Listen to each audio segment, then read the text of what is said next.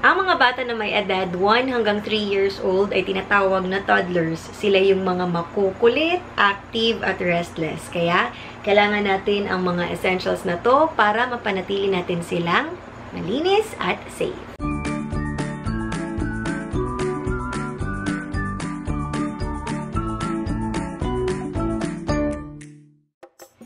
Hi everyone! Welcome back to our channel. It's me, Mommy Ara. How are you guys? I know this is one of those trying times na kailangan nating labanan. Please keep yourself healthy and safe. Anyway, for this vlog, I'm going to share with you itong laman ng lalagyan ni Yana ng kanyang mga essentials. Yung mga nandito ay tinatawag na essentials, yung mga basic lamang. Base lang din to sa aking experience kung paano ko inaalagaan ang aking anak. Pag may mga gusto kayong idagdag sa mga essentials na to, pwede nyo pong i-comment yan sa comment section sa baba. So, let's start. First on the list is yung kanilang mga baby wash. Of course, we have to consider yung mga baby wash na hypoallergenic.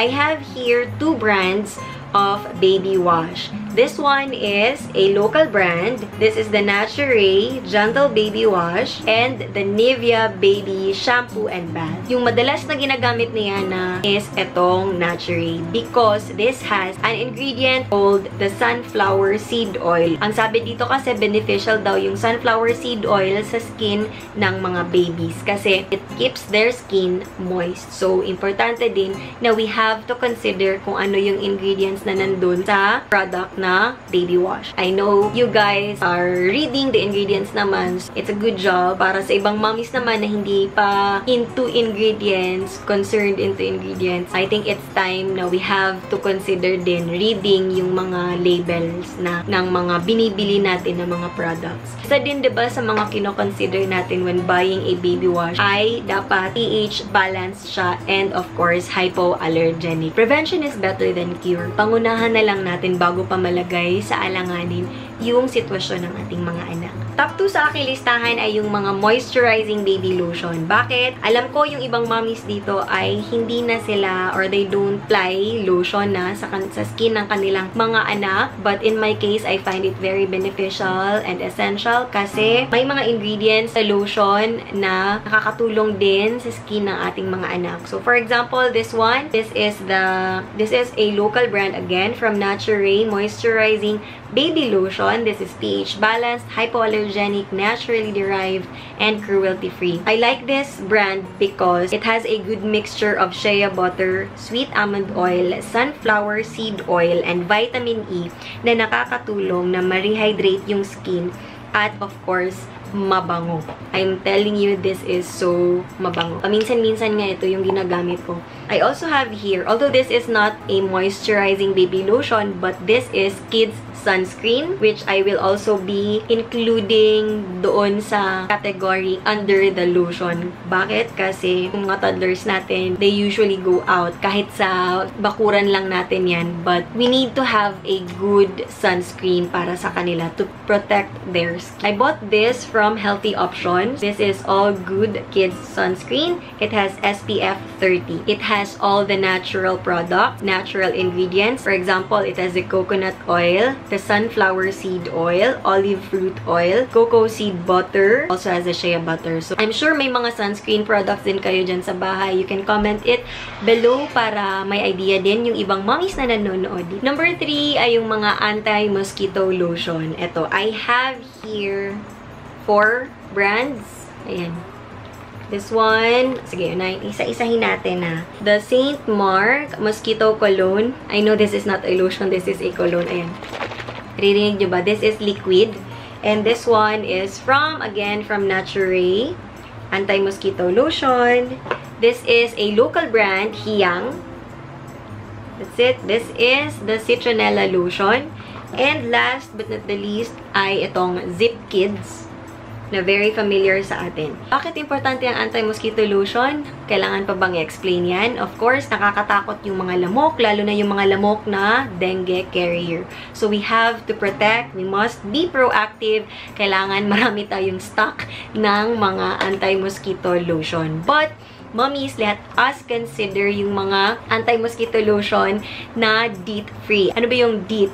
Yung DEET kasi, base sa na-research ko, ito yung mga industrial pesticide na common sa mga repellents. When in use in large doses, it can cause rashes, insomnia, and seizures. Nakakatakot siya, di ba?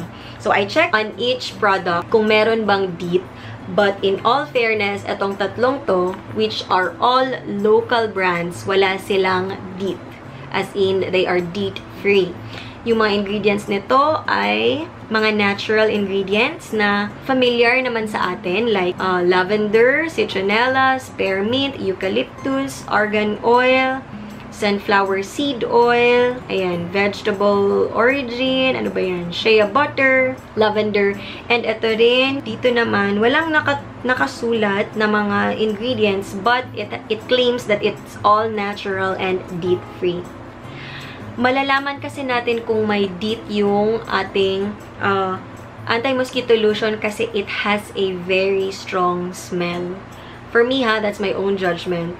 Like this one, ito, uh, hindi naman nila tinatago label na meron siyang 7% na deep. Nasa sa atin din yan, mommies, yung ating judgment and discretion if what product yung gagamitin natin para sa ating mga bata for as long as they are protected against the mosquitoes.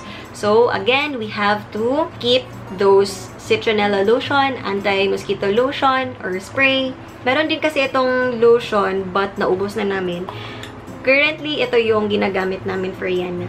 Kasi, hindi ganun ka-strong yung amoy niya. So, sa damit naman, we spray this sa kanya. Especially when we are outdoors. So, number four ay etong Calendula Healing Salve from Nature. Actually, ngayon lang na naging mommy na ako, ngayon lang ako naka-encounter ng ganitong product. This is very, very useful. I cannot imagine my mom life without this. Tayo, adults, Vicks is very important kasi when we have insect bites, mosquito bites, or yung mga small na mga small bumps, Vicks yung nilalagay natin sa ating skin. But, maraming mga mommies ang nagsasabi, and even our pedia, sabi nila, yung Vicks for adults, hindi siya pwede for kids. Kasi may Vic, anyway, may Vicks naman for babies, di ba? For toddlers. But, in our case, we use Calendula Healing Salve. And this product has a Calendula extract as main ingredient, which is antibacterial and anti-inflammatory. Again, this video is not sponsored. I am just sharing kung ano yung mga products na nakatulong sa akin as a mom Last but not the least ay itong mga hand sanitizers na napaka-importante lalo na sa panahon natin ngayon. Yung mga toddlers natin, minsan hindi natin nakokontrol kahit ano lang yung hinahawakan, kahit ano yung pinaglalaruan, and then right after that, hindi natin namamalayan, yung kamay pala na galing sa marumi ay pinasok na sa kanyang bibig. So, I know we are very overprotective. This is the Nature Foaming Hand Sanitizer. And I also have here the Hygienics 99.9% germ kill hand sanitizer na antibacterial. Ano ba yung mga dapat nating i-consider when buying hand sanitizers? Una, kailangan alcohol-free sila. So, when you want an alcohol-free product, itong Nature, this is all natural and super bango. That's it. Diba? And this is mabango siya but hindi siya masakit sa ilong. Ayan. And this one also is, alam ko na, alam nyo na familiar kayo sa brand na to. This is Hygienics. And binilan ko lang si Yana din ng ganito kasi, lalo na sa panahon ngayon, kailangan nating magdoble ingat pagdating sa ating mga kamay. We have to wash our hands regularly and of course we have to put on alcohol or in our case sanitizer. Maganda din kasi if we have to choose yung mga products na may mga ingredients na friendly din sa mga bata. Like this one, this has the chamomile extract. Di nagiging dry yung ating kamay right after, especially sa ating mga toddlers. So that's it, mommies. Those are my two cents Opinion ko lang po yung lahat ng mga sinabi ko ha. Nasa inyo pa rin yung judgment kung ano yung mga products na gagamitin nyo for your kids kasi mothers know best. So, ikaw na mama, alam mo kung ano yung uh, nakakabuti sa iyong anak.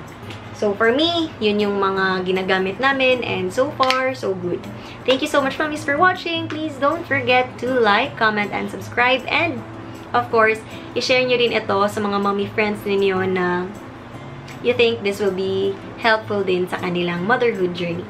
Thank you so much for watching. Please keep safe and healthy. Bye!